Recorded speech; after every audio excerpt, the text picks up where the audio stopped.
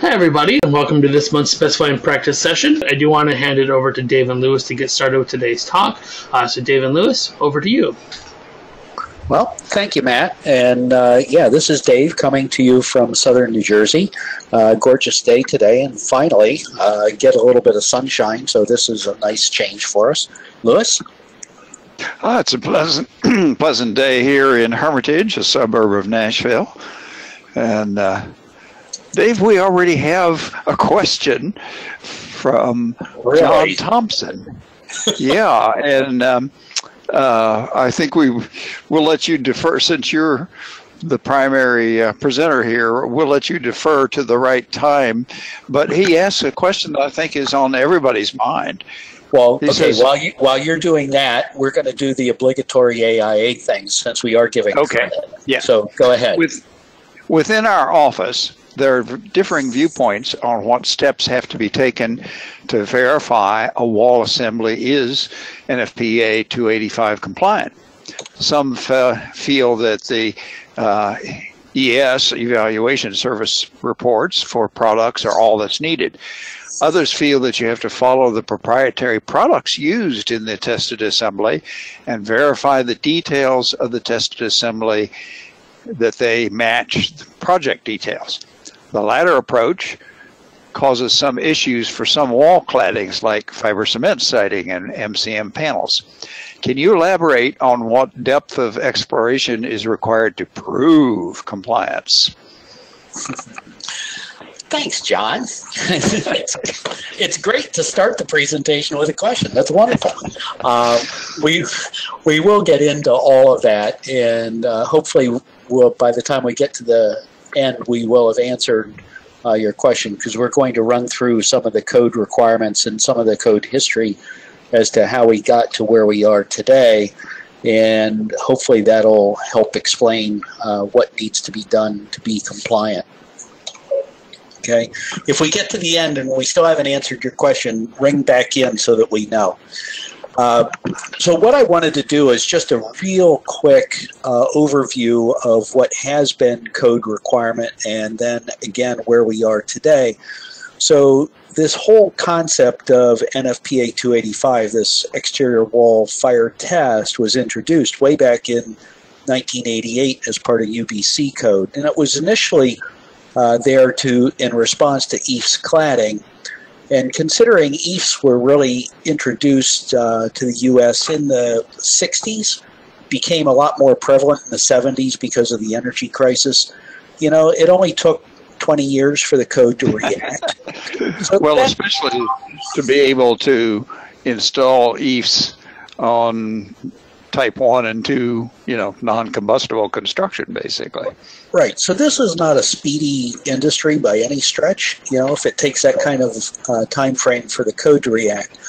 Uh, but NFPA 285 actually first came into being in uh, the 2000 IBC edition, which was the first edition of the International Building Code, uh, and they adopted it. It was uh, the 1998 edition, and NFPA 285 has appeared in every issue since then. So today, um, what we're looking at, or the progression here, has really been that uh, NFPA 285 is now being applied to other materials. It was first um, applied to plastic materials, which was introduced in 2009, and MCM panels at that same time.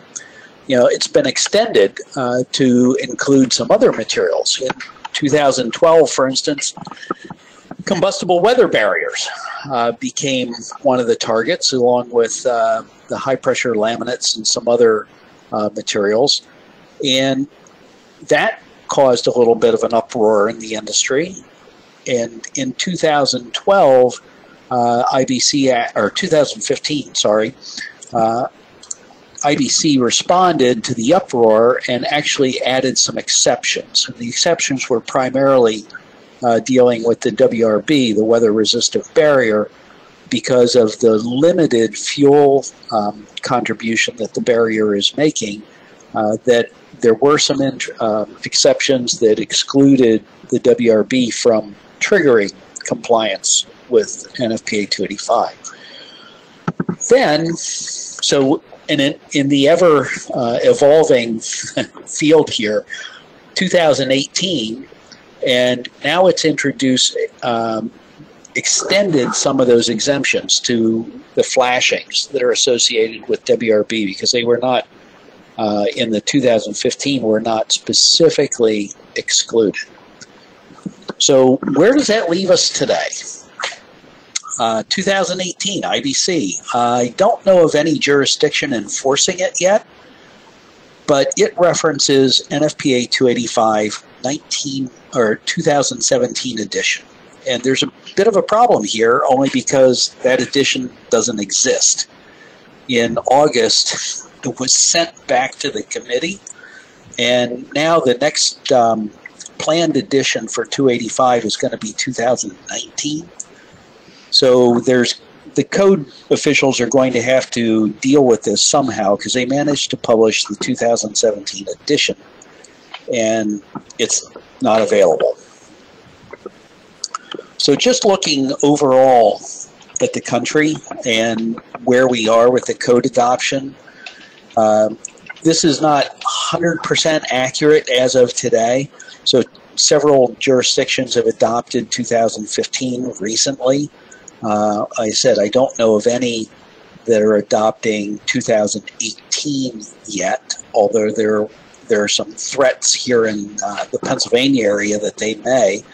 Uh, the vast majority, though, are still 2009, 2012, and there's some distinction or differences between these two codes, and that's something that you have to be aware of. So that's the majority of all of the states. So what's what's driving some of this? It's really been about combustible wall assemblies. So NFPA, you know, they're publishing 285. Uh, they actually did a study that was um, conducted in 2013. They're looking at the major uh, fires that have been reported around the world and trying to categorize what's been going on with some of those fires. The kinds of things that they're looking at that they concentrated on really were the combustible wall assemblies. You can see the list here of most of the ones that they were uh, investigating. And notice they actually included the weather resistant barriers because uh, when they were first introduced, most of them were asphalt based and did in, uh, did add a fuel to that exterior wall assembly. David, we have a question from Jay Hindmarsh that relates to that, and he asks, "Does NFPA 285 apply to any of the interior surfaces of an exterior wall?" I've seen this issue, he says, in renovating type 3B masonry buildings and using spray foam and other insulation types inside the building on the ins- interior side of the exterior wall. Uh, the code treats it as an exterior wall assembly, and the the effect on interior is really about uh, keeping the fire from spreading back to an interior space above a floor where the floor may be engaged in a fire. So as long as the exterior wall assembly remains intact to prevent flame or heat uh, from being from the temperature being elevated in that uh, room above, it should it should comply. I don't know that it would be affected by any interior application. I hope that answers it, Jay. okay. So from the NFPA study, here really are some of the major uh, observations that the study uh, came up with. Building fires, the exterior wall fires are really low frequency, but the potential loss is huge. Uh, the loss could be both in property and in lives, uh, and we've seen some of those uh, recently. The the fires that they observed or that they studied, they found most of them occur in countries with poor regulatory control. And many of these have been reported in the Middle East. Uh, we've seen some of the, the biggest fires coming out of the Middle East, and their their NFPA's interpretation is that it's less controlled in that area of the world. Um, the other one is that the internal fires are spreading to the exterior wall, and this really is the crux of 285 because it um, simulates an internal fire that breaches the exterior wall through an opening and spreads up uh, the exterior wall of the building. And, and then, possibly behind the exterior cladding. Exactly. Continuous insulation or an, a flammable weather resistive barrier membrane. Right.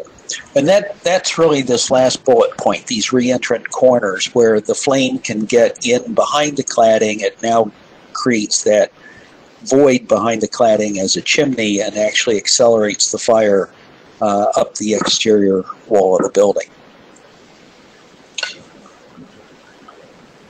So here's one of the spectacular fires, not that we want to say that it's something wonderful to watch, but this is coming out of Dubai. This was one of the ones that the NFPA study uh, cited. Um, the Grenfell tire, uh, Tower was just this last year, and this reentrant um, chimney effect is exactly what caused this to spread up the uh, exterior wall so quickly. Because there was nothing to protect the fire from getting into that void space. So, what sorts of things are triggering NFPA 285? Louis, I ought to ask you all this. You should know all this, right? it from from the quick survey of the codes that we started with at the beginning, it, it depends on which code that you're operating under.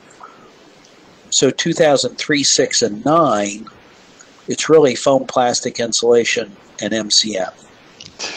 Yes, and, and much of this came about because of the change in the energy code that started requiring continuous insulation in almost all the um, climate zones of the country except extreme South Florida and, and other southern uh, locales.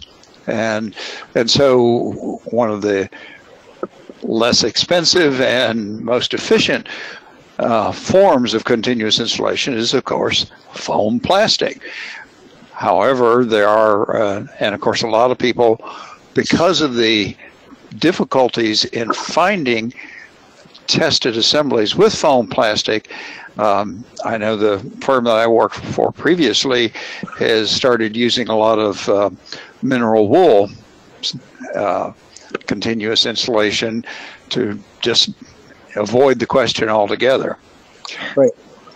So remember, 2009 is one of the most enforced codes. So MCM and foam plastic under 2009. But if we look at where we are today with 2012, all of these items can trigger uh, NFPA 285 in 2012 and beyond. So the list has gotten quite a bit longer. We still have MCM, we still have foam plastic, but we've got some other things that are causing uh, some concerns uh, relating to the code. So the combustible weather barrier, high pressure laminates, yes, rooftop mechanical equipment screens. Okay, and for for anybody that um, wants to look at the look up the code citations, these are the um, references uh, in the actual IBC 2012, and I've identified uh, because in 18 there are some other provisions added, so the uh, or the chapter citation changes in 2018. So just for your own reference. Incidentally, we might let folks know that uh, we will make a, a, uh, PDF of of the slides available uh, sometime early next week when the uh, program is also recorded. Right. And the Prezi is public, so you can search for on Prezi.com, search for NFPA 285. You should be able to find it. Uh, this is a depiction of the actual NFPA test standard and the test assembly. So it really consists of two rooms, a lower room and an upper room. The lower room is where they set the fire inside the room, plus they set a fire at the head of the opening after the interior room reaches um, a uh, prescribed temperature. And the reason is that it's simulating a flashover condition where the entire room would be engulfed in flame. And at that point, because the uh, really quick increase in pressure, the windows would be blown out and the fire would uh, be going out through the window opening. Which is exactly what happened in the Grenfell fire last summer. Is that uh, an appliance actually caught fire? It was an electrical fire to start with. The, the fire got going pretty good in that kitchen. It burst through the window, and the next thing you know, it was racing up the walls. Right. So they set the, the window opening size, and part of this with the test assembly is uh, trying to measure the propagation of the flame on the outside of the wall. Uh, so the test assembly is uh, designed to be a little bit larger than that to make sure they can measure it. And again, setting the fire inside the room and then at the window opening. So the acceptance criteria for this test. The shaded, the pink shaded area is the allowable propagation of the flame on the outside of the test wall. If it exceeds that by any at any point, it's a failure. You know, there's a maximum temperature, uh, and the the thermocouples in this test, there, you see a couple of them labeled here, 14 to 17. I really did not go and count how many there are, because it depends upon the actual exterior wall assembly. So that if you have foam insulation within that assembly, you actually put thermocouples inside the foam insulation to measure the temperature in the foam as in addition to the surface temperatures. So it's the flame spread 10 feet above the top of the window, 5 feet from the edge of, or the center line of the window, and the temperature limits then depending upon the assembly because of the introduction of foam and then the uh, temperatures inside the second room or the second floor room. Anything above 500 degrees is a fail. Any flames in that second floor window is a fail. So I don't know if they selected the 500 degrees because of the combustibility of most organics, but if you think about um, what's what's one of the books um, about the um, uh, burning paper book book burnings. Oh. Fahrenheit 451, Fahrenheit right? 451, right? Right. So we get uh, paper burning at uh, 451, igniting at 451 degrees, and a lot of the organics are going to be in that same range. So 500 in that second floor room could ignite anything organic. David, we have a, a comment and a question from Christian Nielsen. Okay. Um, he is quoting, because it's in quotation marks, fire blocking shall be installed within concealed spaces of exterior wall coverings and other exterior architectural elements were permitted to be of combustible construction. Correct. And then he asks the question in an exterior wall system, where does the wall end and the covering begin. And, and really, Christian, I think the, the point of this test is that's kind of a non question. It has to work together as a system, as an, an assembly, and the assembly itself has to pass the, the test. And that's why we can't just say, oh, well, we've got a non combustible cladding and and we tested the flame rate of the continuous insulation and we put them together. No, they have to be tested together. Right. And and some of the things that we've seen is with um, engineering judgments. I'll jump ahead maybe a little bit, where if you look at the assembly and some of the basis, because you can't possibly test every imaginable assembly out there. So what the engineers are doing for uh, engineering judgments is they'll look at the uh, the fuel contribution of say alternative materials and measured by a, a calorimeter to determine um, what that fuel contribution is. And if we have a tested assembly and we want to change out a material, we can look at that changed material compared to the tested assembly. Does it contribute more fuel or less fuel? If it's less fuel, then it will probably perform equally well or better. And that's really the basis for the engineering judgments. And that kind of gets back to John Thompson's uh, original question about how do we uh, we find assemblies that have been tested and be able to, to prove that? And uh, I, I, know you're going to talk about that some more, but that's those are the kinds of things that we have to deal with because if you think about all the types of cladding that can be installed on a building, all the types of uh, continuous insulation, of weather resistant barriers, and then of the basic wall construction, and you multiply those out, you get a very, very large number of possibilities. Yeah. So here's the uh, the quotation that uh, Christian was citing from the building code in 2012 uh, was when uh, this this was um, introduced this fire blocking notion. And in 2015, there are no changes to these provisions.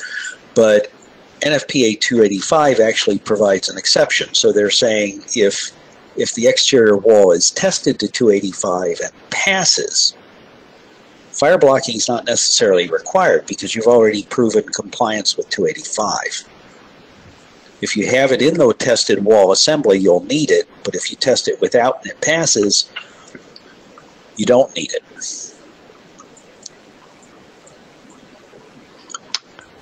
Uh, Don Peterson asks, does adding foam plastic to the inside face of an exterior wall count as being part of the exterior wall assembly? And where does the exterior wall end and the interior finishes begin? Well, this goes back again to an entire assembly. So you're going to test the entire proposed assembly. If you're going to put foam on the inside, you'll have to test with the foam on the inside, and you'll still have to have a fire uh, barrier between the interior and the foam. So presumably the foam would be in a stud cavity space or at least behind a gypboard finish in that second floor room. Okay, in um, 2012, we ended up with some additional requirements uh, that actually trigger 285, and these are mechanical equipment screens. There's some um, there's some severe limitations to this, and I, and I, I I will tell you the kinds of buildings that we would normally work on. I can't imagine that we would ever be in a condition that this is actually triggered. But I, am guessing that there are some where it uh, has been a problem, and that's why uh, the code has introduced it. So it's really in all types of construction except type 5, you know, ordinary wood frame. And it really has to do, I think, with the separation between the mechanical equipment screen and the property perimeter or the building perimeter.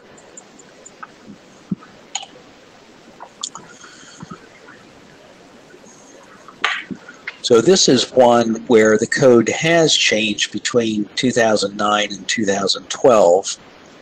And this is uh, relating to uh, the building height and the types of construction and the fact that now WRB becomes a trigger in 2012 and 2015 gives back those exceptions that we began to talk about at the beginning of the program. So this is one place, depending upon the code, you have to be very careful as to what becomes a trigger. So 2009 is different. 2012 introduces WRB. 2015 gives you some exceptions. 2018 introduces more exceptions.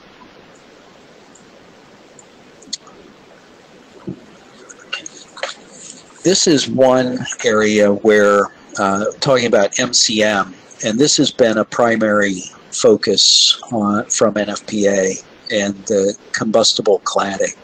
We saw that in the Grenfell Tower uh, fire. This is this is the area of the code that has had the greatest number of revisions uh, over the progress of introducing 285. So today um, we're looking at types 1, 2, 3, and 4 using MCM will trigger compliance with NFPA 285. So you need to understand this very carefully because of the uh, implications that it can have. And there are a lot of uh, conditions that go with this as far as the code criteria. So we need to look at the surface burning characteristics of MCM. They're looking to have it essentially the same as a Class A material. So we have to meet that uh, flame spread of 25, smoke develop 450, even though it's an exterior element. What they're using as Class A is to try to help uh, control that surface burning and the contribution uh, to a fire by adding fuel to that fire. The one of the concerns is certainly that uh, the plastic cores that were used in MCM, when they liquefy, it really turns into a, a a pretty good accelerant, you know, because it's coming out of the plastics. It's it's related uh, heavily to gasoline, and we all know what that can do in a fire.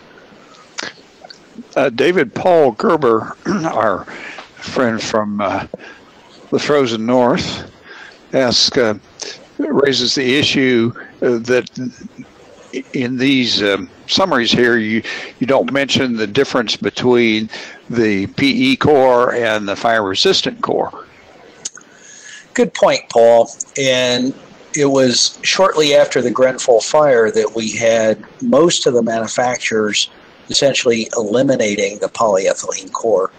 I'm not even sure that it's actually available anymore. So the fire resistive core uh, may be all that's available on the market today. And right, there was a difference between the polyethylene and the fire resistant core. They're still both plastics. And, and they both and they both burn, but the fire resistant core has a, a lot of uh, uh, non flammable um, fibers in it that slows down the burning rate, re- reduces somewhat the uh, the fuel contributed, and that's why it's called fire retardant, not uh, non-combustible or whatever.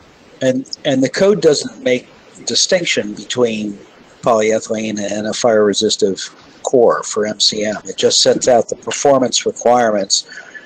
And gosh, I guess if you could develop a polyethylene core that can meet all these requirements, uh, you can go ahead and install that on the building.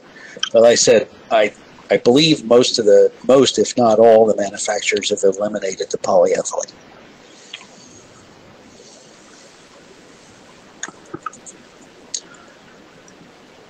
this, and going back to uh, John's initial question, the code requires for MCM that it must be a system test. So this is a complete exterior wall system. Right? There are some alternate conditions, and these get to be a, an extensive read in the code, and I'm not even going to begin to get into them because it has to do with height, area, uh, the individual combustibility of, of the MCM, very complicated. If that, if you're looking to take that alternative path, you probably need to be working with the MCM manufacturer and contractor to make sure that you've uh, absolutely complied with these alternate conditions. If you're not going that alternate path, system testing is required. And uh, you may also want to uh, take a look at the evaluation service reports for the different materials to see what their requirements are because in those, for example, some of the manufacturers state that the MCM must be installed with 5 8 inch type X gypsum wall board on the inside of the exterior wall. Right, and that really comes back to some of the testing requirements. So that's how it was tested. That's what they know passes, and that's what they're going to recommend. And if it and if they're submitting data to the evaluation service, that's what they're going to record in the ES reports. Tommy Smith uh, asks a rather trenchant question, David. He says, uh, to be on the safe side, and since this issue is undergoing change, should designers follow the latest code regardless of what edition, edition is adopted by the uh, local authorities having jurisdiction? I think there's an easy answer to that, Tommy. Know, the I I actually heard John Straub say this um, last week. You know, the code is the meeting the code gives you the worst building acceptable legally. you know, and if you think about that, he's absolutely right. The code pres- prescribes a minimum, and there is nothing that prevents anyone from doing better than the code. And whether it's the 2009, 12, or 18 code, uh, shouldn't really matter. You can you can apply. I, you can take concepts from later edition codes. But if you're looking at any of the exceptions that later editions are giving, you're probably going to have to chat with the AHJ before he's willing to accept them. But you can always do more. You can always do better than the code. Um, yeah, Vivian Volz brought up that very point that the exceptions that get introduced in the later code editions may not be the best in this situation. That's correct. So I, I tried to create this flow chart uh, dealing with MCM. And you can see it gets pretty complex. It's uh, and to follow this all the way through, you know, you start you start looking at it and saying one of the very first questions is is there a form uh, foam plastic involved? If foam plastic is involved then you need to be looking at the fire resistant or the surface characteristics. Then what building is it applied to? You know if it's type 1 2 3 or 4 now we've got to go through NFPA 285 and it and it prescribes some additional uh, requirements for fire uh, performance. We still have the alternative path, again, by height, area, and some ignition properties of the individual materials. The safe bet, just build building or type 5 buildings, right? We don't have to worry about it because you're already limited by height and if you put MCM on a Type 5 building, the height is actually going to be controlled by different factors of the code. But you have quite a torturous path to get through here to get to a compliant uh, assembly. Safest, easiest way, NFPA tested, you know it's compliant, and if you build it just like the tested assembly, you're somewhat home free. Okay. Thinking back again, 2009 and 12, these are the most often uh, used codes throughout the country. So the Chapter 26 requirements in these two codes are, actually, are identical, right? And so if you're looking at exterior walls, any building, any height, we've got foam plastic in it, we can begin, we can trigger uh, NFPA 285. So that would be your continuous insulation can begin to trigger uh, 285 compliance. If we're looking at fire resistance rated exterior walls, now we've got some other criteria introduced because you're going to have to test it as fire resistance rated, which is not 285. Fire resistance rated would be from exterior exposure or, or interior exposure. If you're up against a property line, uh, the the wall may have to meet a fire resistance rating. You have to do that in addition to NFPA 285. We still have to have the thermal barrier to separate whatever foam we put in the assembly from the building interior. The code says half inch thick gypsum as a minimum thermal barrier.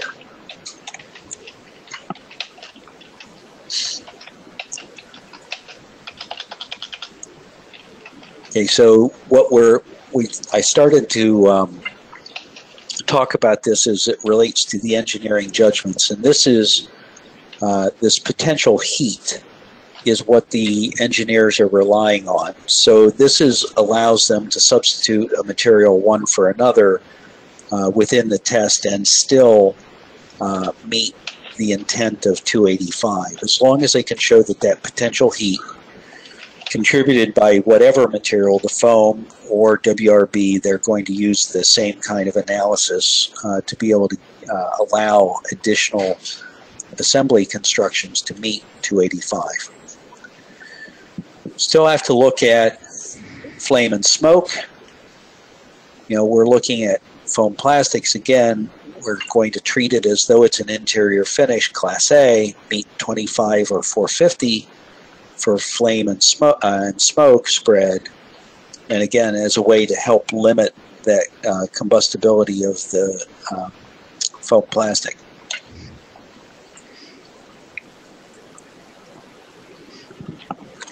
Coming back to you again, John, uh, vertical and lateral fire propagation it is an entire assembly test.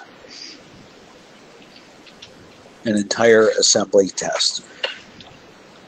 One-story buildings are exempted. NFPA or IBC 2015 adds some more exemptions. We talked a little bit about those, especially for the WRB.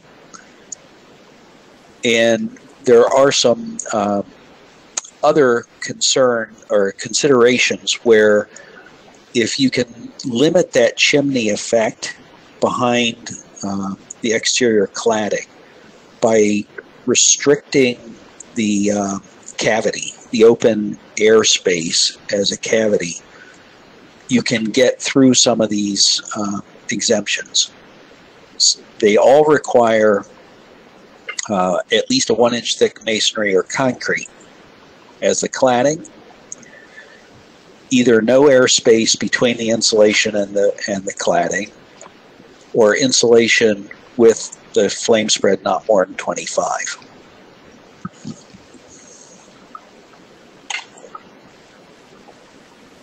And that's fairly easy to do with uh, the traditional insulated masonry cavity wall. Yes, it is. And with with traditional masonry cladding, first of all, you have a non-combustible cladding, so you end up with a little bit more latitude anyhow to be able to meet 285. One one thing that's important in 285 for foam plastic is the labeling. And this, this is just more than the general marking that the code requires for some other products. It usually requires the manufacturer's name, the product name, maybe the date of manufacture.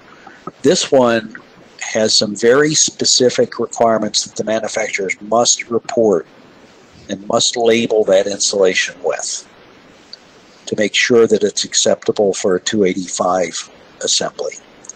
So we should just be aware that that labeling requirement is there, and if you're specifying for 285, you may want to request uh, as a submittal that labeling from the manufacturer so that your field CA staff has a way to know that the correct insulation is being installed in that assembly.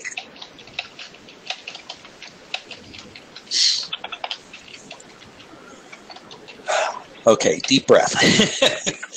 the um, the ignition of these uh, foam plastics is also uh, one of the concerns, and there are some again some exceptions. uh, for exterior facings. And you, you look at the exceptions, uh, you can see that what they're really talking about is uh, non combustible uh, exterior claddings or facings. So if there's a concrete or masonry, yes, you don't have to be so, you're not going to be concerned about meeting the NFPA 268, which is for combustibility. If there's uh, concrete, metal panels, stucco, all non-combustible, and 2015 also added fiber cement siding as an exception for those facing materials.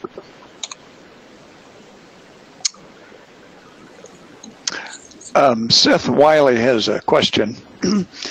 he says about 10 years ago he was talking with SWRI testers about developing a small scale NFPA 285 test, which would test a specimen wall area just above the window opening to the top of the specimen wall. And asked, does this testing exist yet? And do we have any idea about any uh, possible code adoption? I'd be very suspect of that, Seth, because the NFPA Teddy uh, test uh, starting it's essentially the same as the one that was invented in 1988 by the Uniform Building Code. Uh, has been around so long and has been uh, has a lot of confidence in it. The the whole point is that we're not we have to take into consideration will the the flame start in a one room break through, go up through the wall, and then engage the room above. Uh, that's the, exactly the problem that happened in the Grenfell Tower, and that's exactly what the uh, the test is meant to try to control. So um, I'd be very I doubt that that's going to be uh, any kind of meaningful test in in, in the near future. Yeah, and in and in preparing for this um, presentation, actually, uh, what I discovered is there's talk in the industry of actually moving to larger scale fire tests uh, that involve uh, test assemblies as, as much as 40 feet high uh, to be uh, more representative of real world conditions. That there's some concern that NFPA is uh, too small a scale a test to accurately predict what's going to happen in the field. So we may be faced with even more restrictive measures uh, in the future if the industry is probably being led by NFPA in doing this study and maybe taking the results of the 2013 study and applying it uh, going forward because some of the European tests are actually much larger scale than 285. So looking at foam plastic code compliance, uh, this is probably even a little bit more difficult than MCM. You know, the and I said we we start with the very first thing: is this product labeled? If it's not labeled, immediately you're non-compliant. So you might as well not even consider anything else. So, and that's why it, it's probably really important to make sure we're specifying for that label and checking the label if you're uh, CA staff in the field. So we go through the same sort of thing, the fire resistance, the essentially Class A uh, requirement. Is there a thermal barrier? If it's, and there has to be the thermal barrier to the building interior.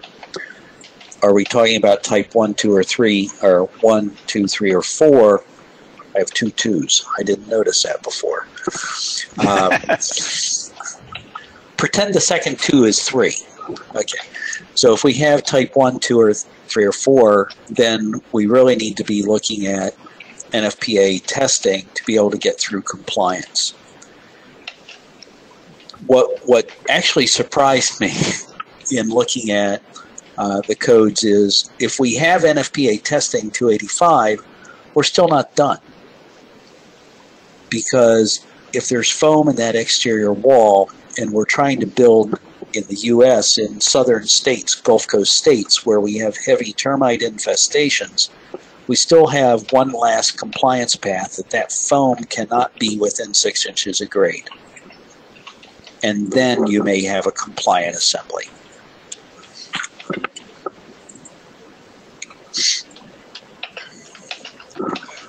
So what have we got as alternatives? Hey, the very first one, use non-combustible cladding. That might keep you out of NFPA compliance altogether.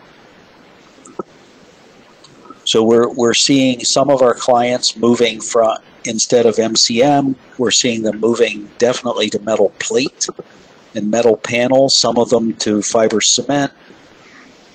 Moving to the high pressure decorative laminates doesn't take you out of the non-combustible. So we have been seeing some folks moving there as well, but that's still a combustible product and still may trigger uh, 285. Move away from non or move to non-combustible insulation. Mineral wool, foam glass. We don't see much foam glass. I, I coming out of the engineering somewhat background, we used to see foam glass especially for high temperature applications. But it's it's completely incombustible. It's completely inorganic, which allows you to do things with it that you wouldn't necessarily be able to do with other insulation materials. The only difficulty However, is the R value is less, and it's fragile. It so is there's fragile. Uh, so there are some installation issues that uh, hidden costs. Yes, it is. But if you have the broken pieces, you can use it for sanding. they used to sell sanding box made out of the same stuff. Yes, you can. I suppose you could do that.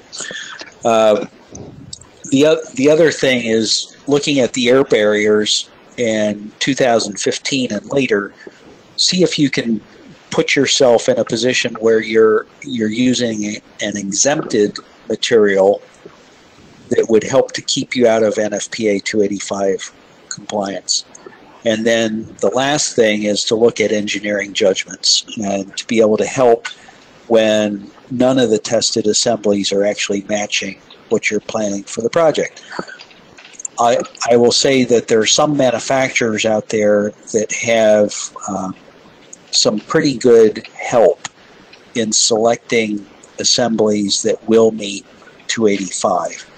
Uh, they're they're giving you essentially a Chinese menu where you can pick one from column A, one from column B, and, and it tells you how you can uh, mix and match the materials and still end up with 285 compliance. One of the th- one of the things that absolutely prevents compliance is taking a combustible cladding like MCM combining it with foam plastic for the continuous insulation. That is almost an immediately fail, especially if it's XPS or EPS uh, insulation material.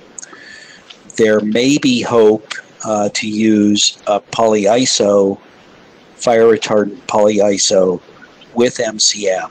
I have seen some assemblies uh, say that that is tested and passed but you have to be very careful mixing foam insulation with MCM or any other uh, combustible cladding.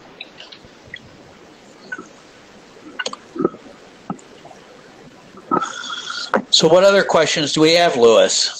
I finished. I finished. I can't believe I finished this a little bit early. So this is great. Yeah, actually.